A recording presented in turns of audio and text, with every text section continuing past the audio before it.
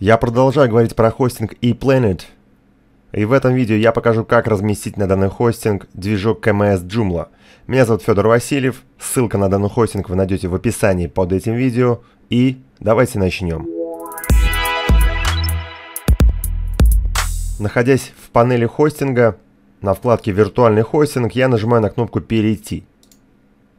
Попадаю в специальную панель. Как мы можем загрузить движок Joomla на хостинг? Есть два способа. Один простой идет э, загрузка движка непосредственно сразу с хостинга, или мы скачиваем с официального сайта последнюю версию движка Joomla.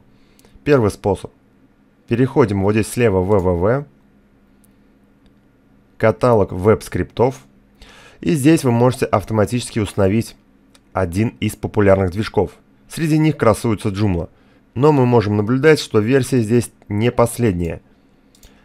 Напротив каждого движка здесь есть кнопка «Установить». Давайте установим правильным способом движок Joomla на наш хостинг, но для начала нам нужно его скачать. Переходим на официальный сайт joomla.org и на этой странице вы видите большую зеленую кнопку с последней версии движка 3.9.1 на момент записи видео. Скачиваем его к себе на компьютер. После того, как вы скачали движок, переходим на странице хостинга вот здесь вот менеджер файлов. Заходим в папку www. Ранее, в прошлом уроке, я создал технический домен тест73. Вы должны были создать свой. Заходим в эту папку нашего технического домена.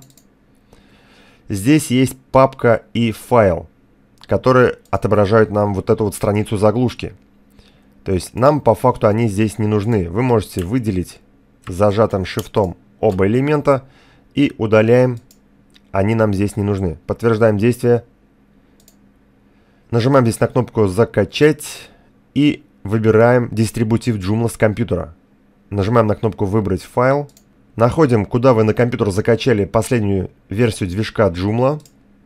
Выделяем и «Открыть». И «Ок». Нам нужно дождаться процесса закачки движка на хостинг у меня уже закачался. Далее нам нужно распаковать данный архив с движком. Выделяем наш архив и здесь нажимаем на кнопку «Извлечь». На этой странице ничего не делаем. Здесь у нас показана папка, куда будет э, распакован архив с нашим движком. Нажимаем здесь на кнопку «Ок».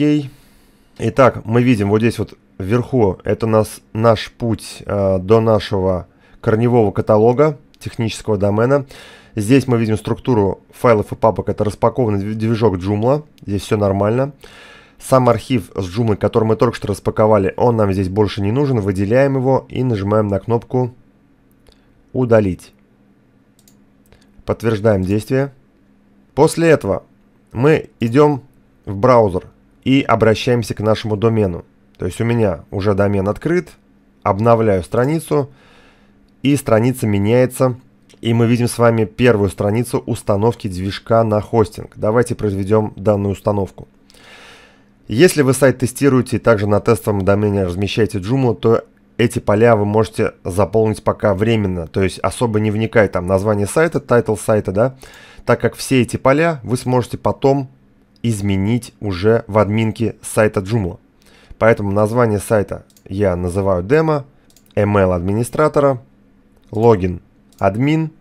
Не забывайте, что логин админ и легкий пароль очень легко доступны для хакеров, поэтому на реальном сайте используйте какие-то уникальные данные логины и сложный пароль.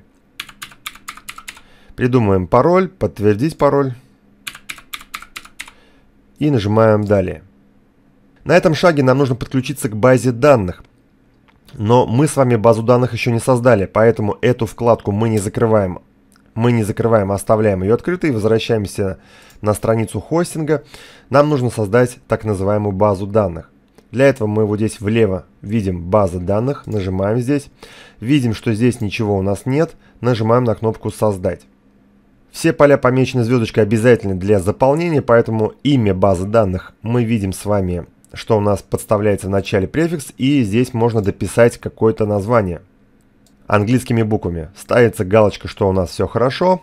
А, движемся дальше. Имя пользователя я создам такое же. Пароль к базе данных лучше придумать сложный, поэтому здесь есть такая иконочка. Кликайте на эту иконочку, и система автоматически сгенерирует вам сложный пароль. И не забудьте куда-то сохранить его на блокнот, на всякий случай, вдруг он вам понадобится. Нам он понадобится, когда мы будем заполнять поля при подключении нашего сайта к базе данных. После этого мы нажимаем на кнопку ОК. Видим здесь имя, адрес сервера localhost. Базу мы с вами создали. Возвращаемся на страницу установки базы данных.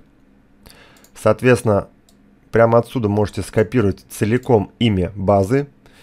Имя базы данных, имя пользователя у меня одинаковые, поэтому имя пользователя я проставляю здесь, и имя базы данных проставляю здесь, у меня оно такое же. Тот пароль, который вы только что создали к базе данных, его обязательно нужно проставить здесь. И имя сервера базы данных мы не трогаем, оставляем localhost.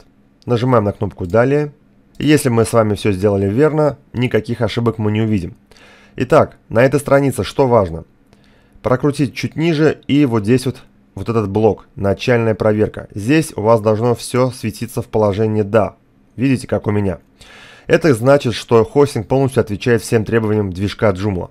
В остальном мы здесь нажимаем на кнопку «Установить» и нам нужно дождаться процесса установки. Вот у меня уже установка завершена. Почти все. Нам остается локализовать наш движок на русский язык. Для этого мы нажимаем на кнопку «Установить языковые пакеты». Здесь прокручиваем практически в самый низ. Выбираем язык Russia, русский, и нажимаем «Далее». На этом шаге нам нужно язык панель управления перевести в русский язык, поставить точку напротив и язык сайта также поставить точку напротив русского языка. После этого мы нажимаем с вами на кнопку «Далее». Почти все. Нам остается удалить директорию инсталляции. То есть это папка в корне сайта, которая была нужна только для установки движка на хостинг. Сейчас она нам не нужна, поэтому нажимаем на эту оранжевую кнопку «Удалить директорию». После этого мы видим надпись на кнопке меняется «Директория install успешно удалена». После этого мы можем нажать с вами панель управления и мы видим с вами страницу авторизации уже в админке нашего сайта. У меня логин был админ и пароль был. Вы проставляете также свой логин и пароль и нажимаем на кнопку «Войти» уже непосредственно в админку нашего сайта Joomla. У нас практически все нормально, все хорошо, кроме одной ошибки, и это даже не ошибка, а предупреждение, что у нас на хостинге используется старая версия PHP. Нам нужно ее переключить на более современную. Зачем это нужно делать? Во-первых, с, вер с версии PHP 7 и выше сайт будет работать гораздо-гораздо быстрее, что важно. А второе, это избежание каких-либо ошибок.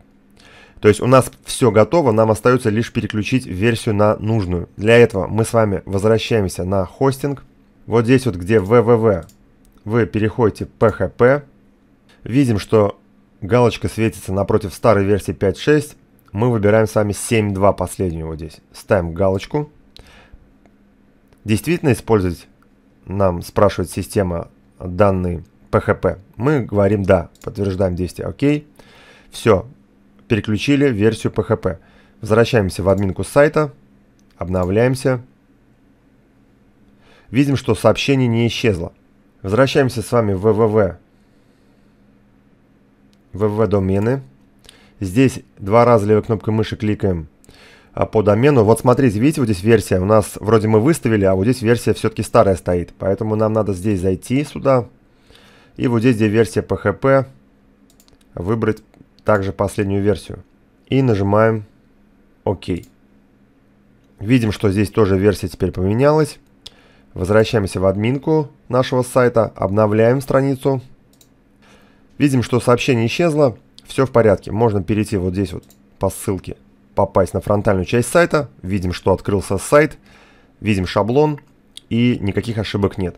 Я вас поздравляю, мы с вами установили движок Joomla на хостинг.